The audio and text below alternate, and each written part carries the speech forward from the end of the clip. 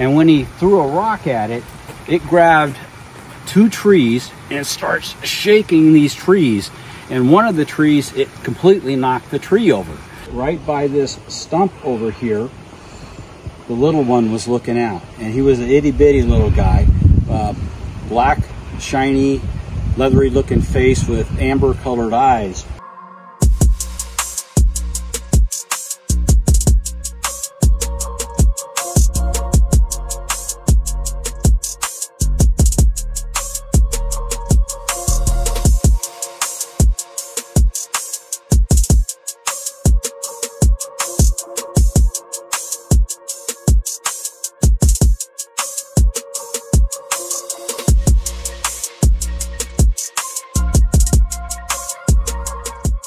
In 2022, a group of us went camping in the Cascade Range of Washington State.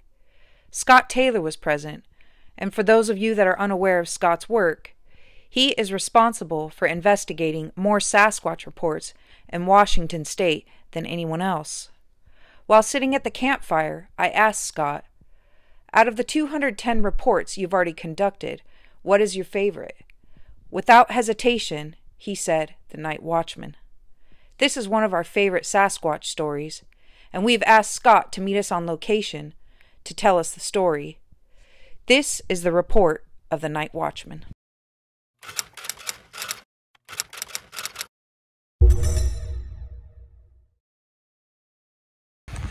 Hi, my name is Scott Taylor. I'm a BFRO field investigator. I had my first encounter in 2007, October, or excuse me, 2005 in October uh, the next year I went on a BFRO expedition and after that became a BFRO ex, uh, investigator. This is one of my early reports. This report was done in I believe about 2008 but the events that happened here was 2003 starting in July, uh, late July and going through August and into September. This is the story of the night watchman and what happened was a couple had been hired to stay up here while they're logging and watch the equipment, make sure nobody broke into it or messed around with it. So the first that they were here, their trailer was parked right here in this place, right along the road. And the logging was up above us here.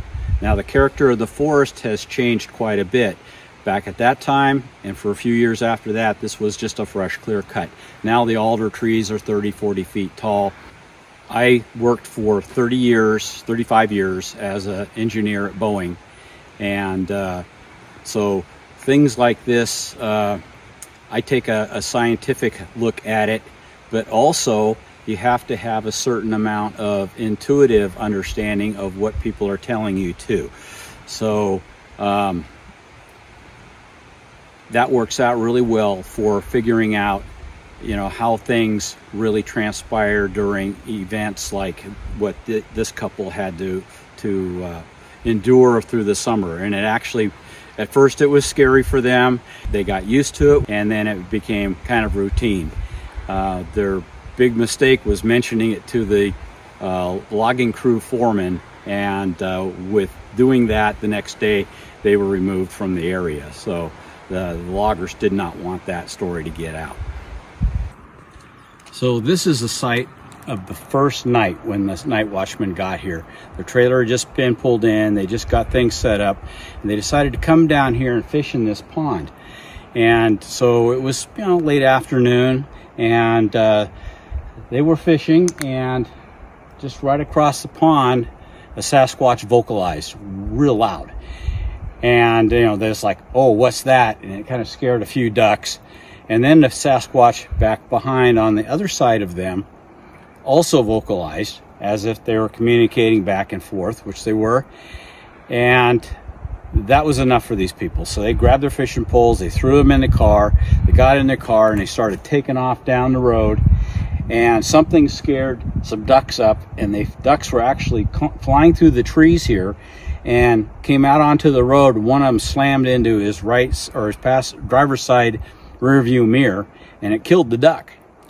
Uh, really unusual for ducks to fly through trees, so something had to have frightened that duck a lot that it would come this way through the trees rather than that way out into the open.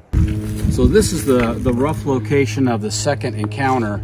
Um, we call it eyes in the clear cut. What they had done, this, this couple had walked down this, this road here and they had a laser pointer and they had they had discovered with their cat that if they shined a light on the cat that the light refracted off the fur and danced all around the fur and it was really pretty. So they thought well let's see what happens if we do that on deer or elk or whatever is out here. So they, they walk out here in the dark and they see three sets of eyes off to the left of this little road. And they started shining the laser pointer at them and so the, the eyes are ducking and weaving, trying to stay out of the laser light. And finally, they got up and the eyes moved to the other side, to the right side of this little road. And one stood up full height. And then they realized that, that it wasn't a deer or something like that and uh, became again a little frightened. Uh, but they could see it, the, the light dance off the hair of the Sasquatches and they could see that there were three. There was a, a male, female, and a, and a juvenile. And uh, so they had enough and decided to head back to their trailer. When the Sasquatches had had enough and decided they were going to leave, they, they came down this direction and went down through the forest going down the hill. And while they were going down the hill, these the people could hear the two Sasquatches, the male and the female, talking to each other and what what they got from that was they were complaining about these people hitting them with the laser light. I mean, they wouldn't know what a laser light was, but they were being hit with a light and they didn't like it. And they, they, they could tell when the male talked because he was a deeper voice and they could tell when the female talked because it was a more feminine voice and it had a certain little sound she made at the end of each of her phrases. So they, over time, they could always tell who was who out in the woods just by when they heard them talk. Because the witnesses do not have audio recordings of the speech they heard, here are a few recordings from our property of both male and female Sasquatch. This will give you an idea of what they might have heard.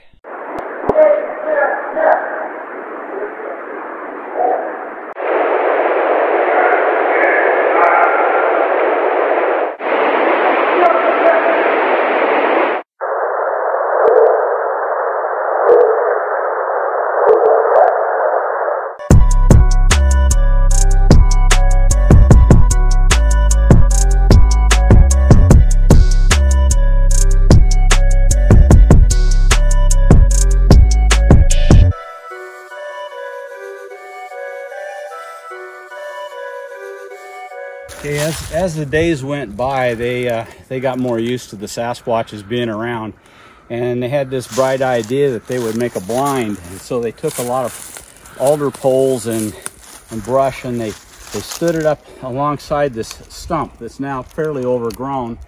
But they made a blind up on top. They put poles in vertically, and then they wove sticks in horizontally, and they went up in there and they hid. And they were hoping now picture that this is all open at the time because it was a fresh clear cut.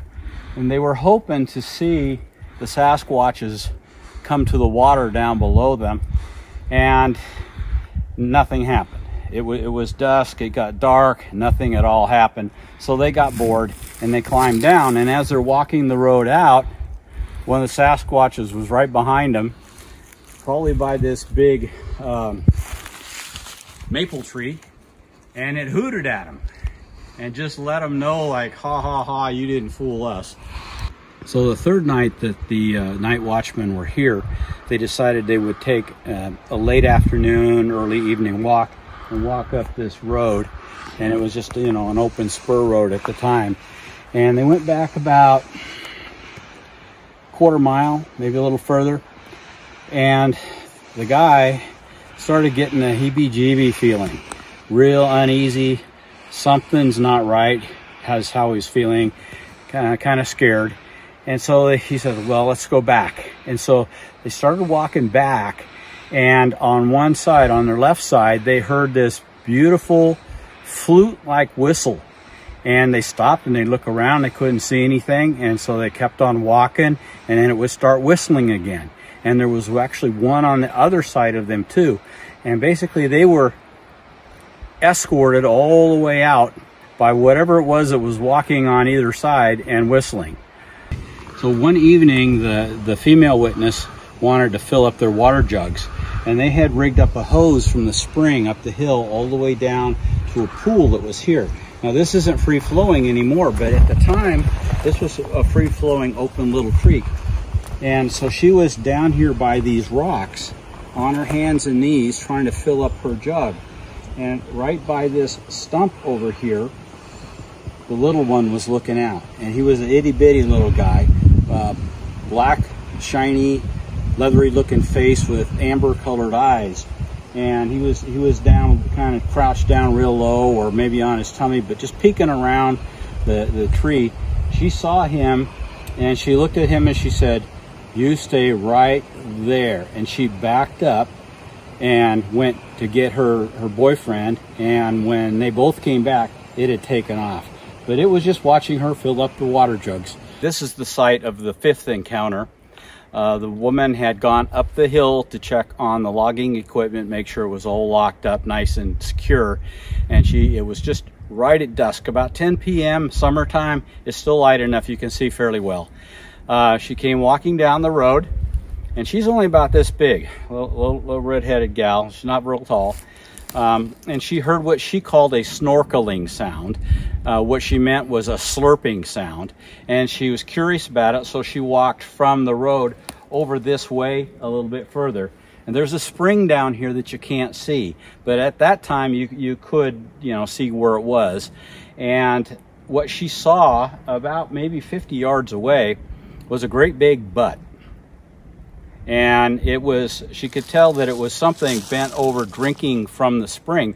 And she wasn't sure what it was. At first she thought maybe it was an elk or or a bear or something. And then it stood up. And she said it was so fluid the way it stood up it it appeared to almost just grow out of the ground because they are so athletic and such great shape you know they can just stand up they can do things humans can't do.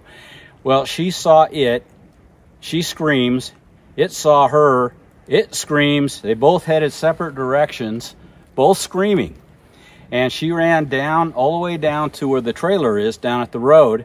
And she got her boyfriend to come out and and he had been working on the car, so he was out and he said, Yeah, I heard it scream and run the other way. She thought it was screaming and chasing her, but it really wasn't. They both just parted ways, and it's almost kind of a comical uh, scene if you think about it. You know, a little girl running away, screaming from a Sasquatch, and an eight foot, nine foot tall Sasquatch run away, running away, screaming, frightened of the little girl. So, qu quite an event that night for them.